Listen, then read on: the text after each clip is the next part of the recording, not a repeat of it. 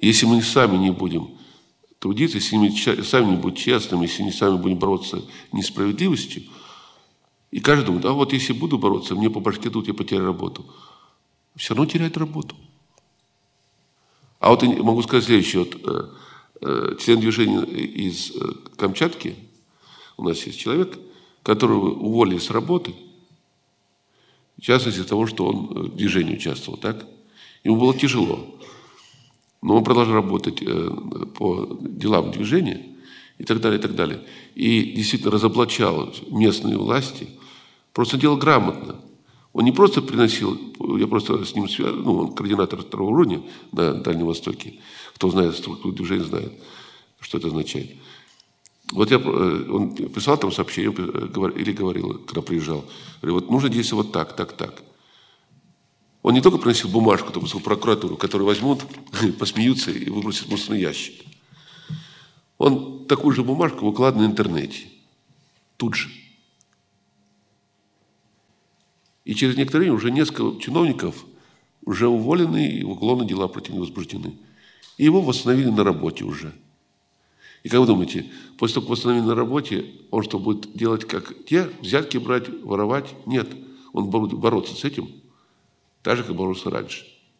Только теперь уже его не посмеет, он знает, что он может и отпор дать. И отпор грамотный, когда, понимаете, когда человек считает, что власти э, к царю-батюшке придут, да, и царь-батюшка все разрешит. Пишут начальству, письма э, разоблачают, и ничего не происходит, а проблема только возникает тех, кто пишет. Одно дело клевета, анонимки клевета, а другое дело, когда действительно идет преступление совершается.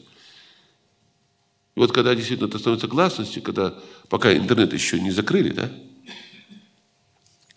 вот на интернете выкладывал. И благодаря этому им невозможно было замолчать все это, и он очень много добился. И теперь будет еще больше дальше работать.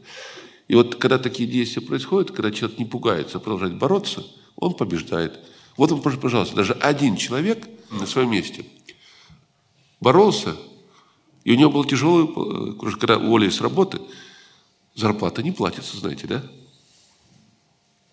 Ему было тяжело, у него семья, дети, но тем не менее он не сдался – Конечно, если нужно было, мы помогли, потому что наше движение существует не только для того, чтобы делать, делать, но помогать друг другу в тяжелой ситуации. Мы помогли, но э, не возникло проблем, потому что действительно смог э, выстоять и довольно-таки быстро, потому что эффективно действовал и победил. Казалось бы, небольшая проблема, но, по крайней мере, на Камчатке э, браконьерам будет уже очень тяжело. И чиновник, когда приезжает туда, для того, чтобы э, икру вывести тоннами и так далее, и так далее. Понимаете?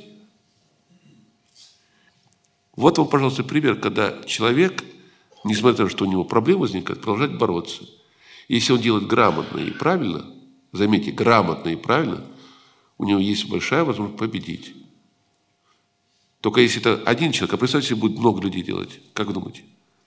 Будет гораздо больше пользы. Поэтому Э, вот э, э, насчет того, что почему не прилетает,